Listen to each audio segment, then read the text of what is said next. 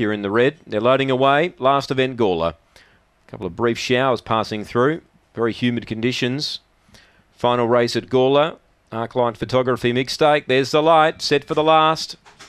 250 Cameroon. It's the favourite. Ready.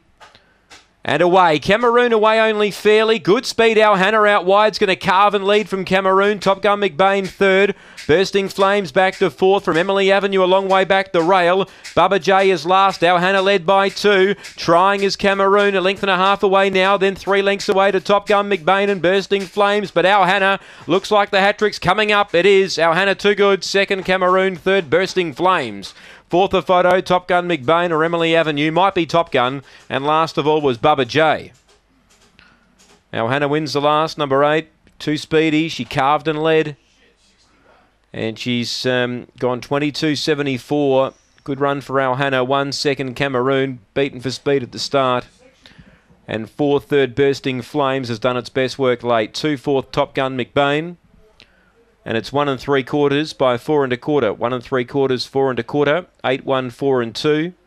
Twenty two seventy four the run. Eight sixty one the early split. Run home in 14 13. 14 13 the run home.